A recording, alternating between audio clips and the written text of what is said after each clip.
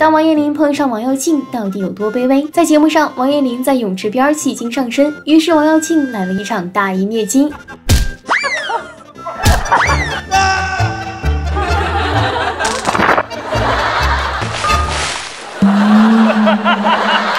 干脆利落的作风，真不愧是总裁王耀庆。不光是人为，有时候突如其来的意外也挺多的。王耀庆从旁擦过，戏剧性的一幕发生了。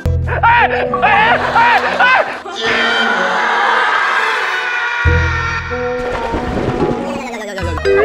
怎么了？怎么了？我没事，没事，没事。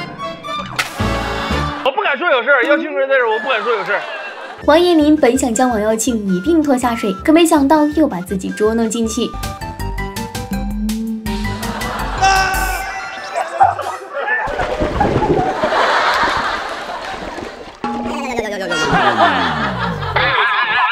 王彦霖这一再入水也太惨了。一次游戏上，王彦霖霸气叫嚣，身为哥哥的王耀庆出来治弟弟了。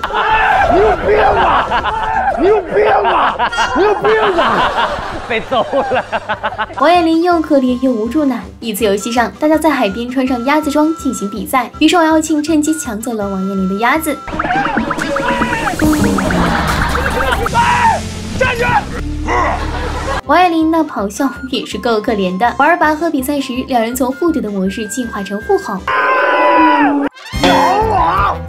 你吼我！你刚刚是不是吼我？王耀庆，你确定和王彦霖没仇吗？